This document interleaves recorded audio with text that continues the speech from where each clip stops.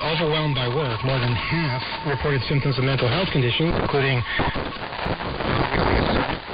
uh, the troubling symptoms were more acute among workers who spent most of their time with COVID-19 patients. Three quarters of their work life responding to pandemic-related cases. Nearly half reported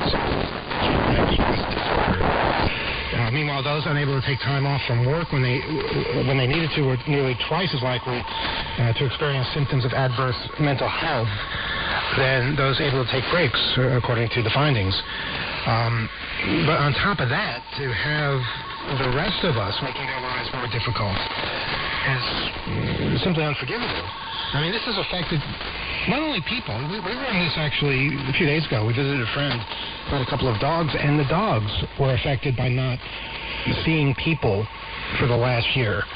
You know, they they don't know how to deal with people. They they react unpredictably because they're only used to a certain small number. Where normally they'd be going out and socializing and meeting new people all the time. So we, we know the effects that this has on individuals like us, but um, we might not have thought that our pets also have been affected by it. Really, getting out, socializing requires uh, uh, of those pets to chaperone and uh, get you to the the animal park or wh- wh- wherever Uh-huh. that's going on, and that's so important uh, for pets. And I think there's parallels. There's strong parallels with people, um, and there's a lot of anxiety, I think, and and social anxiety that is going to take time for people to adjust to. To be truly comfortable with things transforming now. It's just uh, mindful of how you treat one another and um, and you know really listen, um, um, compassionate. Yeah, absolutely.